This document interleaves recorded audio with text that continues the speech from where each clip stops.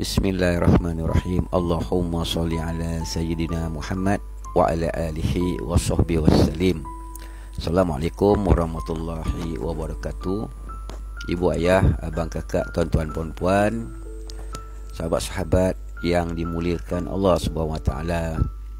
Apabila tersingkap satu takbir, maka akan terlihatlah satu pandangan yang selama ini tersembunyi secara terang di depan mata.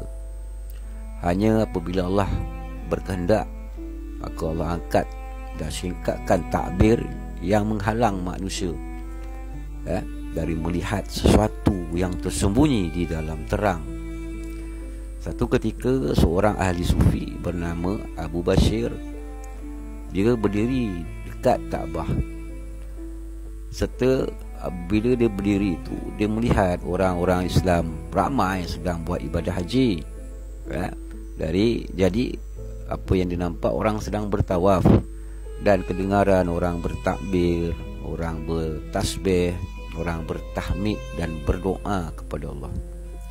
Maka dia pun terlintas dalam kalbu dia ya, kerana dia juga seorang sufi dia tak pernah memikirkan hal-hal negatif kepada orang lain.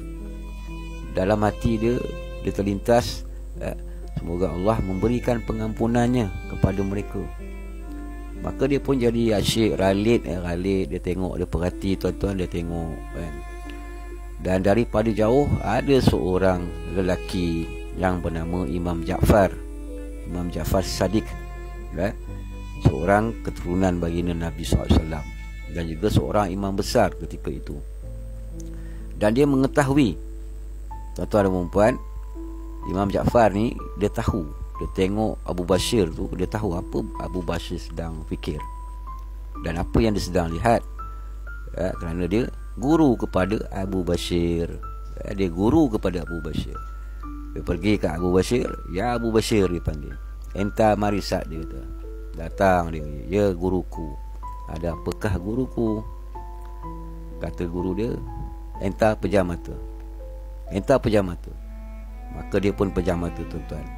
Maka guru dia usap wajah Abu Bashir Dan berdoa sesuatu pada Allah. Setelah selesai Wahai Abu Bashir eh, Wahai Abu Bashir Entah buka mata. Dia guruku dia buka mata tuan-tuan. Kerana apa Abu Bashir ni Dia taat pada guru eh, Dia ada adab pada guru.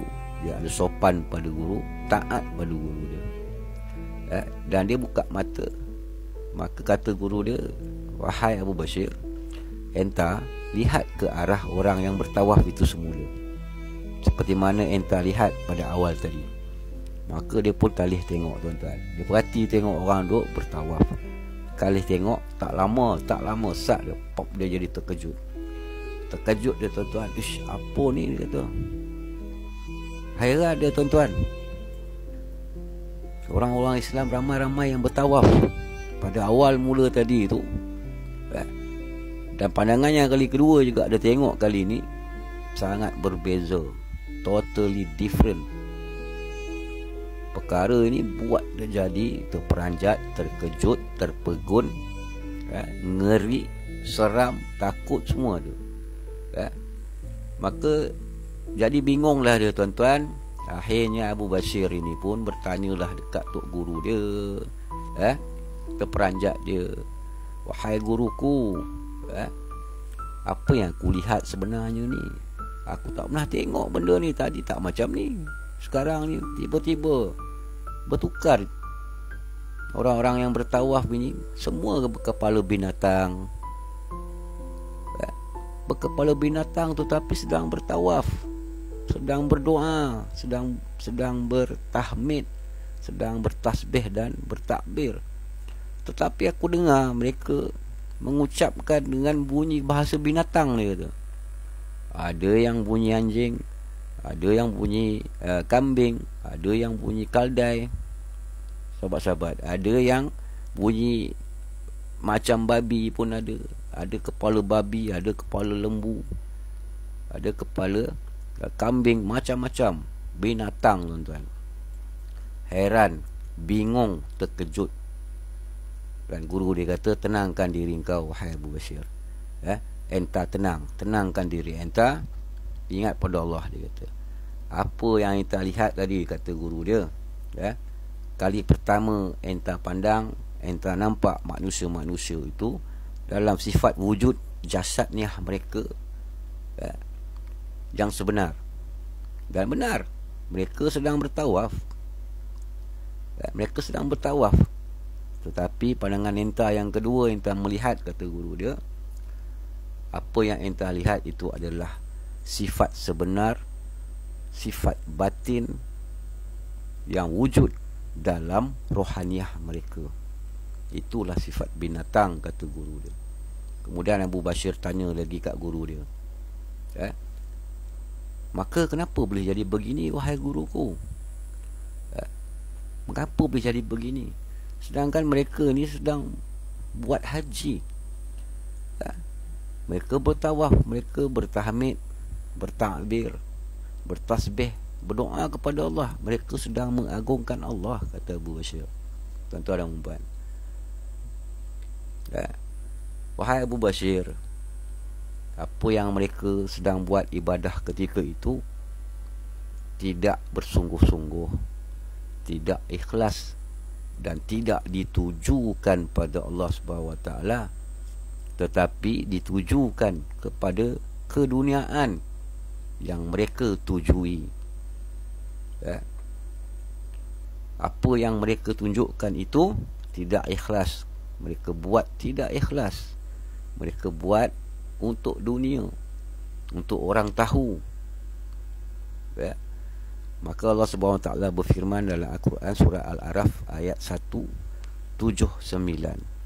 Mereka itu ada hati tetapi tidak digunakan untuk memahami tentang Allah. Mereka mempunyai mata tapi tidak digunakan untuk melihat tanda kekuasaan Allah. Mereka ada telinga tetapi tidak mendengar ayat-ayat Allah. Ya mereka itu seperti binatang bahkan lebih sesat lagi dari binatang kerana lalai tidak mengenal Allah Al-Quran surah Al-Araf ayat 179 mereka itu masih lagi mengingati di dalam hati mereka selain Allah eh? dan kenyataannya mereka itu yang sedang bertawaf itu mengagungkan pangkat kedudukan mengagungkan kekayaan mengagungkan ilmu keilmuan yang mereka ada ya. itulah yang ada di dalam hati mereka dan mereka membuat ibadah dengan tidak ikhlas dengan tidak mengenal Allah mereka melakukan semata-mata untuk dunia untuk orang tahu, untuk keluarga tahu, untuk rakan-rakan tahu yang mereka membuat ibadah haji. Ya. Maka Allah Taala itu Maha mengetahui apa yang disorokkan, apa yang terlintas di dalam diri kita secara zahir ataupun batin. Jadi tuan-tuan puan-puan, ibu ayah abang kakak oleh sebab ini kita ikhlaskan niat kita tujukan kepada Allah pasrah menyerahlah diri serahlah wajah kita kepada Allah jangan kita sibuk mengatur diri kita biarlah Allah yang mengatur diri kita di mana dia nak letak kita apa dia nak uji kita eh? Allah yang bolak balikkan hati kita tuan-tuan Allah yang nak kita Buat sesuatu Allah yang nak kita letak kita Di mana-mana saja yang dia nak ya. Kerana apa? Kerana itulah ketentuan dia Yang dia telah tetapkan. Itulah awal Itulah akhir dari segala Perjalanan ibadah seseorang Yang beriman. Banyakkan berselawat ke atas Nabi SAW banyakkan berzikir dalam kolbu kita kepada Allah SWT selamat beramal selamat berfikir. Jumpa lagi